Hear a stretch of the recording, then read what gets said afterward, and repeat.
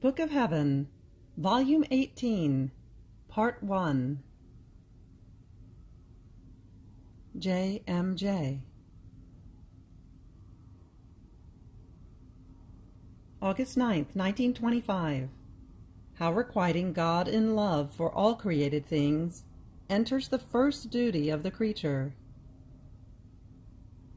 The divine will was given as primary life of the creature.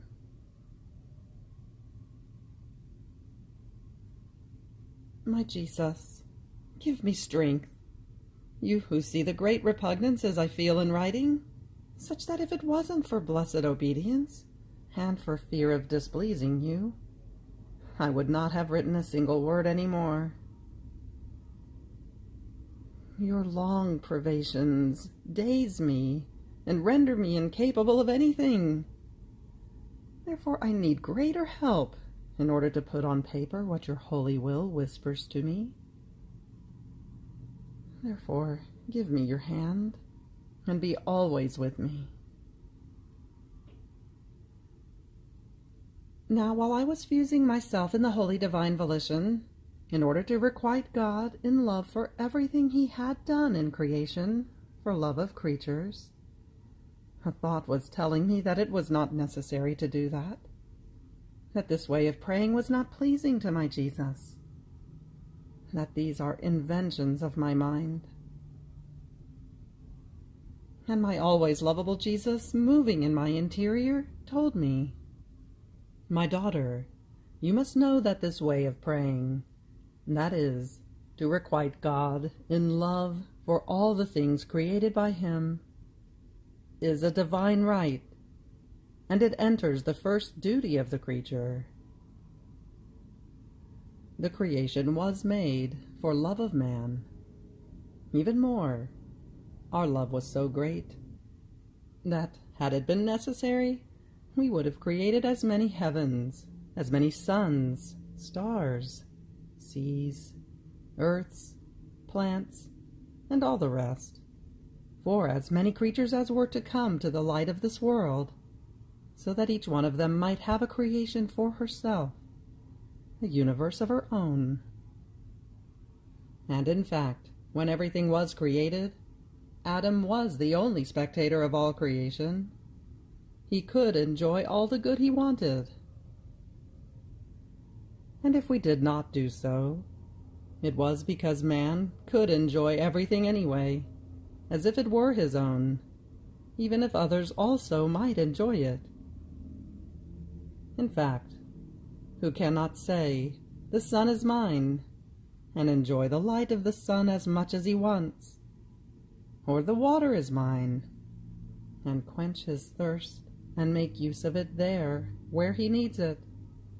Or, the sea, the earth, the fire, the air are my things. And so with many other things created by me.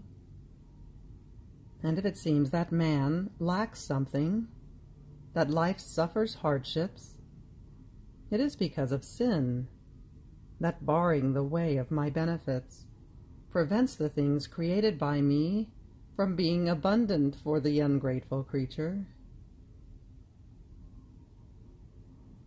So, given all this, that in all created things God bound his love toward each creature, hers was the duty to requite God with her little love, with her gratitude, with her thank you to he who had done so much for her not requiting God in love for everything he has done for man and creation, is the first fraud that the creature makes against God.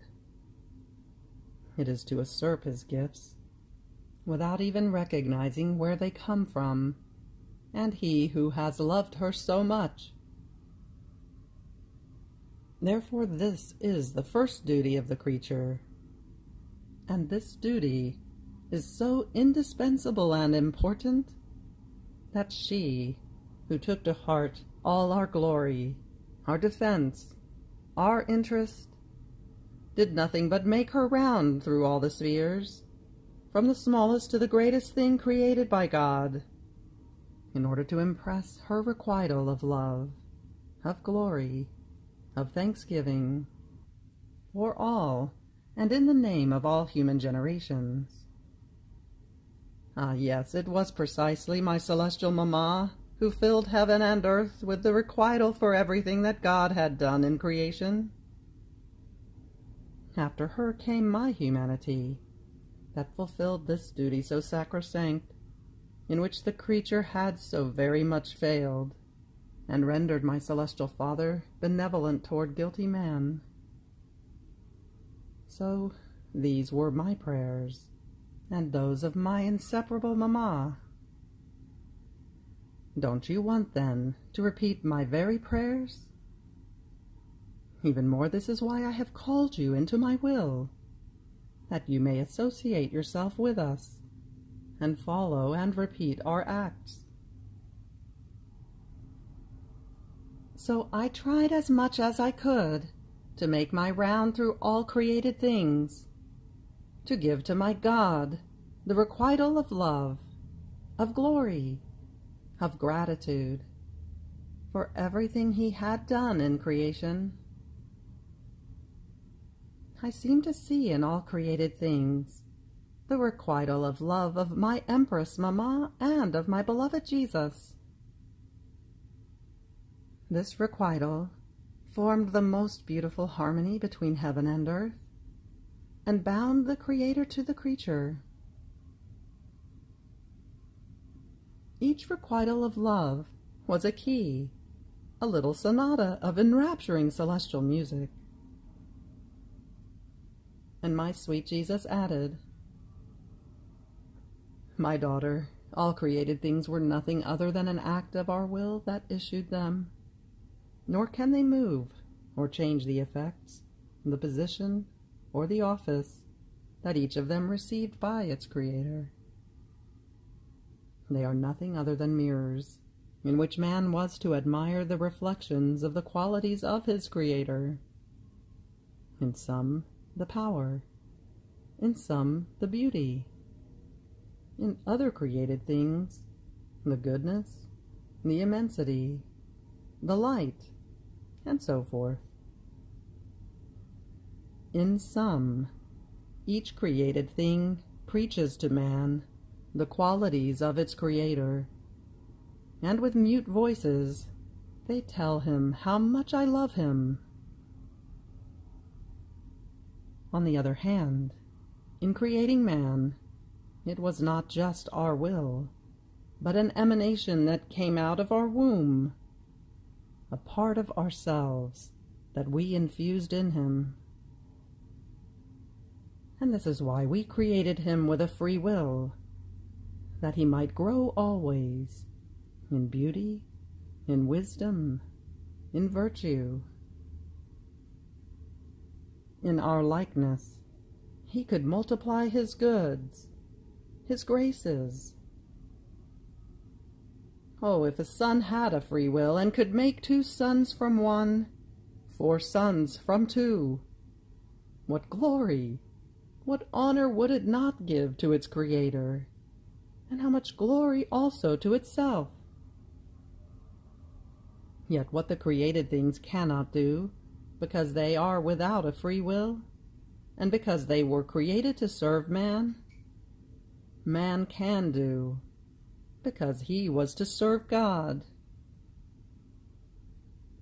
So all our love was centralized in man, and this is why we placed all creation at his disposal all ordered around him, that man might make use of our works, like as many stairs and ways, in order to come to us, to know us, and to love us.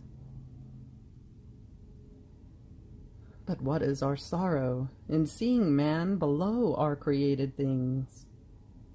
Even more, his beautiful soul, given by us, transformed into ugliness by sin, and not only ungrown in good, but horrid to the sight. Yet, as if everything that was created for him were not enough to our love, in order to preserve this free will, we gave him the greatest gift that surpassed all other gifts. We gave him our will as preserver, as antidote, as prevenience and help for his free will. So our will placed itself at his disposal to give him all those aids that man might need. Our will was given to him as primary life, and as the first act of all his works. Having to grow in grace and in beauty, he needed a supreme will that would not only keep company with his human will, but would substitute for the operating of the creature. But this great gift also he despised and did not want to know. See then how our will enters the primary life of the creature, and as long as it maintains its first act, its life, the creature grows always in grace, in light, in beauty. She preserves the bond of the first act of her creation, and we receive the glory of all created things, because they serve our will operating in the creature, the only purpose of all creation. Therefore I recommend to you let our will be more than life for you, and the first act of all your actions. August 15th, 1925. All created things run toward man. The Feast of the Assumption should be called Feast of the Divine Will. I continued to fuse myself in the Holy Divine Volition to requite my Jesus with my little love for everything he has done for mankind in creation. And my beloved Jesus, moving in my interior, in order to give more value to my little love, did what I was doing together with me. Meanwhile, he told me, My daughter, all created things were made for man, and all of them run toward man. They have no feet, but they all walk. They all have motion, either to find him or to be found. The light of the sun departs from the height of the heavens in order to find the creature, illuminate him, and warm him. The water walks in order to reach even into the human bowels to quench his thirst and to refresh him. The plant, the seed, walks, rips the earth, and forms its fruit to give itself to man. There is not one created thing that does not have a step, a motion, toward the one to whom the eternal Maker had directed it in its creation. My will maintains the order, the harmony, and keeps them all on their way toward the creatures. So, it is my will that walks constantly toward the creature within created things. It never stops. It is all motion toward the one whom it loves so much. Yet who says a thank you to my will, that brings him the light of the sun, the water for drinking in order to quench his thirst, the bread to satisfy his hunger, the fruit, the flower to cheer him, and many other things that it brings to him to make him happy. Is it not right that, since my will does everything for man, man should do everything to fulfill my will? Oh, if you knew the feast that my will makes in created things, when it walks to and serves the one who fulfills my will. My will operating and fulfilled in the creature, and my will operating in created things, kiss each other as they meet. They harmonize. They love each other, and form the hymn of adoration for their Creator and the greatest portent of all creation. Created things feel honored when they serve a creature who is animated by that same will that forms their very life. On the other hand, my will takes the attitude of sorrow in those same created things when it has to serve one who does not fulfill my will. This is why it happens that many times created things place themselves against man. They strike him. They chastise him. Because they become superior to man, as they keep intact within themselves that divine will by which they were animated from the very beginning of their creation, while man has descended down below. For he does not keep the will of his Creator within himself. After this, I began to think about the feast of my celestial mamma assumed into heaven. And my sweet Jesus, with a tender and moving tone, added, My daughter, the true name of this feast should be Feast of the Divine Will. It was the human will that closed heaven, broke the bonds with its Creator, made miseries and sorrow enter the field, and put an end to the feast that the creature was to enjoy in heaven. Now, this creature, queen of all, by doing the will of the Eternal One always and in everything, even more, it can be said that her life was divine will alone, opened the heavens, bound herself to the Eternal One, and restored in heaven the feasts with the creature. Every act she did in the supreme will was a feast that she started in heaven. It was suns that she formed to adorn this feast. It was melodies that she sent to delight the celestial Jerusalem. So the true cause of this feast is the eternal will operating and fulfilled in my celestial mamma. It operated such prodigies in her as to astonish heaven and earth, chain the eternal one with indissoluble bonds of love, and capture the word even into her womb.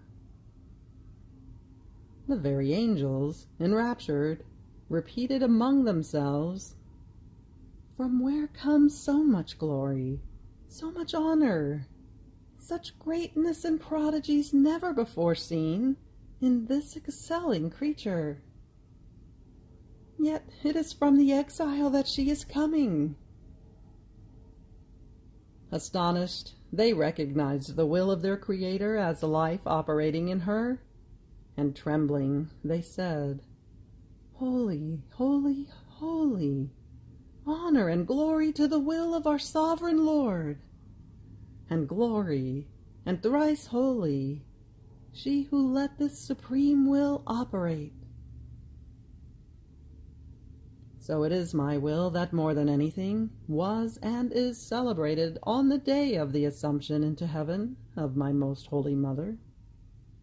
It was my will alone that made her ascend so high as to distinguish her among all. Everything else would have been as nothing had she not possessed the prodigy of my will.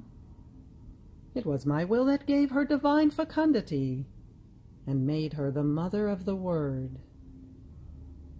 It was my will that made her see and embrace all creatures together becoming the mother of all, and loving all with a love of divine maternity, and making her the queen of all, it made her rule and dominate.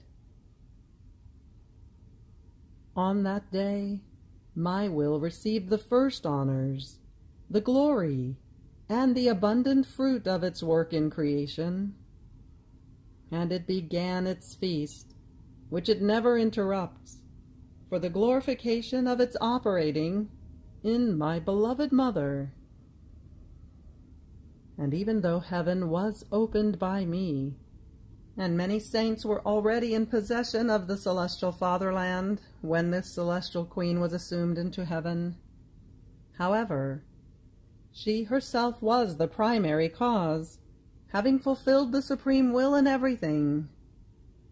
And therefore, we waited for she who had honored it so much and contained the true prodigy of the most holy will to make the first feast for the supreme volition.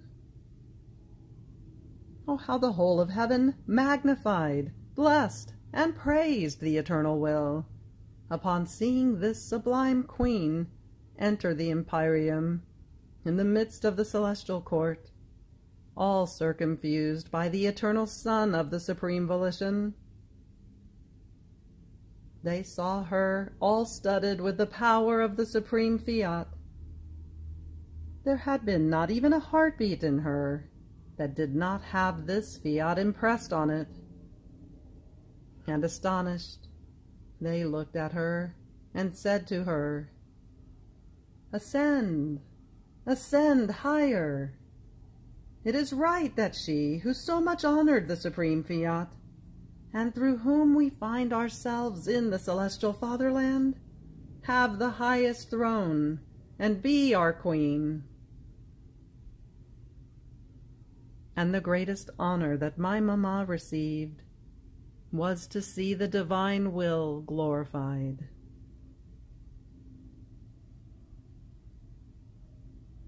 September 16th, 1925. Jesus was always the same in his pains. To be always the same is a divine virtue. The silence of Jesus.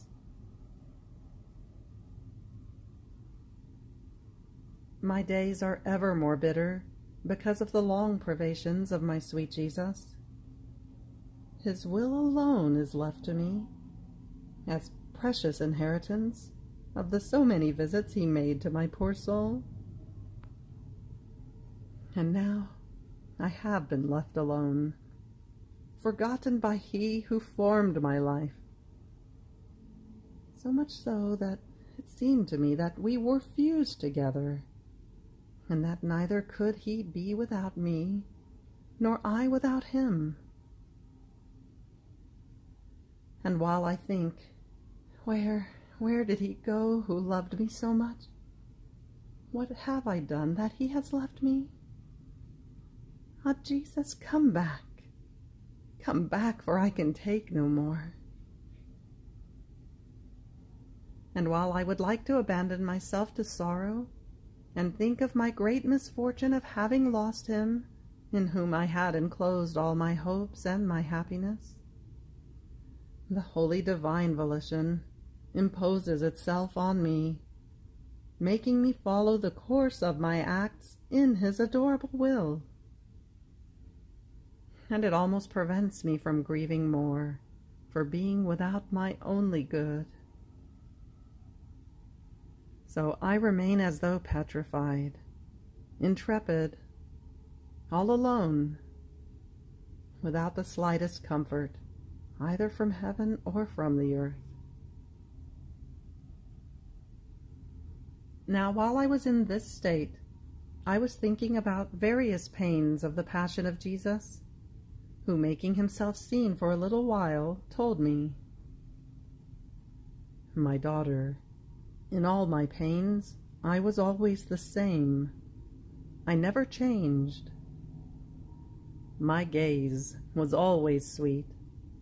My face always serene. My words always calm and dignified. In my whole person, I had such equality of manners that if they had wanted to recognize me as their Redeemer, merely by my way, always the same, in everything and for everything, they would have recognized me. It is true that my pains were so many as to eclipse me and surround me like many clouds, but this says nothing. After the heat of the pains, I would reappear in the midst of my enemies like majestic sun with my usual serenity, and with my same manners, always equal and peaceful. To be always the same is only of God, and of the true children of God. The way that is always equal to itself impresses the divine character in the soul and reveals the operating of creatures as pure and holy. On the other hand, a changing character is of creatures, and it is a sign of passions that roar within the human heart, that tyrannize it in such a way as to show an unpleasant character also on the outside, that displeases everyone. Therefore, I recommend to you that you be always the same, with me, with yourself, and with others, the same in the pains, and even my very privation. The unchanging character must be indelible in you. And even though the pains of my privation knock you down and form the clouds of sorrow inside and outside of you, your unchanging manners shall be light that shall dispel these clouds, and shall reveal how, though hidden, I dwell within you. After this, I continued to think about the pains of the passion of my adorable Jesus, with the nail of his privation in my heart. And my lovable Jesus made himself seen in my interior, all taciturn and so afflicted as to arouse pity. And I said to him, My love, why are you silent? It seems to me that you don't want to tell me anything any more nor confide to me your secrets and your pains any longer. And Jesus, all goodness, but afflicted, told me, My daughter, being silent says something greater than what speaking says. To be silent is the decision of the one who, not wanting to be dissuaded, keeps silent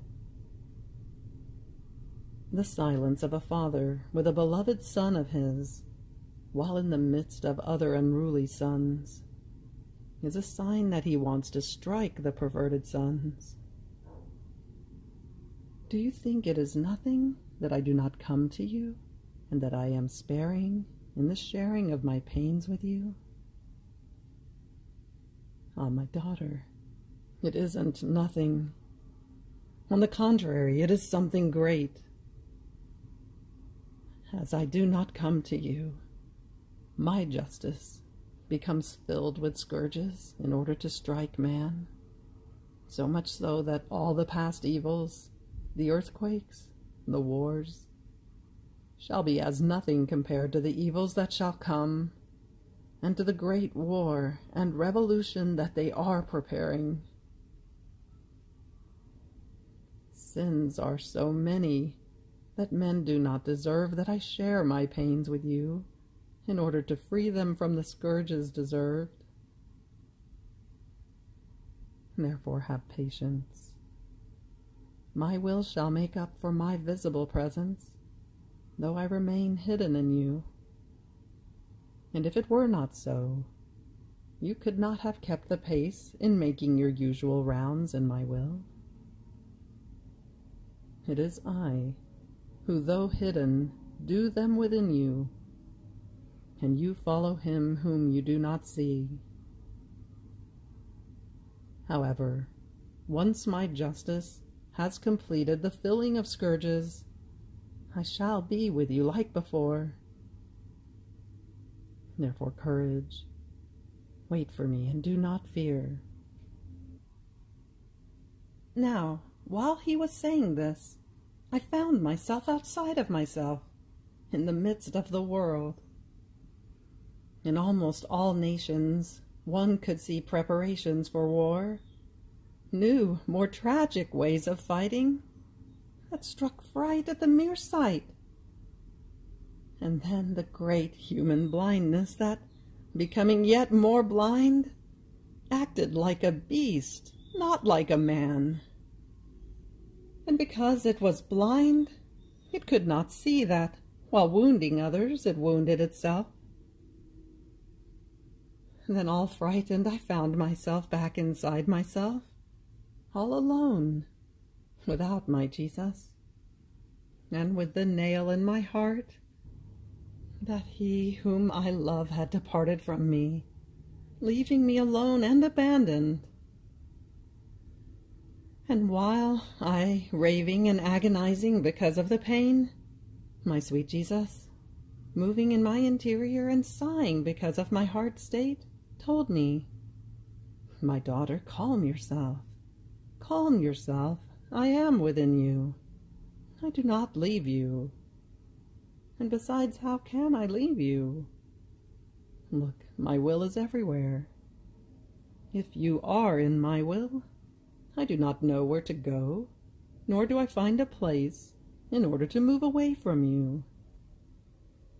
I would have to render my will limited and gather it in one point in order to leave you.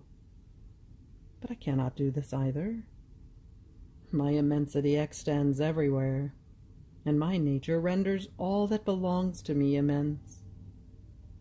Therefore, immense is my will, my power, my love, my wisdom, and so forth. So, how can I leave you if I find you everywhere in my will? Therefore, be sure that I do not leave you, and plunge yourself ever more deeply into the immensity of the abyss of my will. You have reached the end of the Book of Heaven, Volume 18, Part 1. Fiat.